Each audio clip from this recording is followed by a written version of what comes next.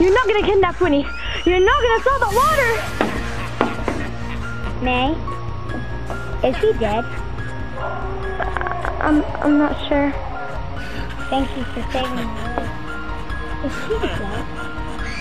Let me see. Oh yes, he's dead all right. May, you're gonna be sent to prison. May.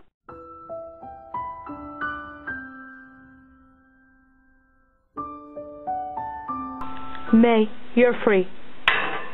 Winnie, get in. I'm sorry, Winnie. You have to be the replacement. It's okay. I'm glad to help. Here's some water. It, it, it'll keep you alive forever. Drink it.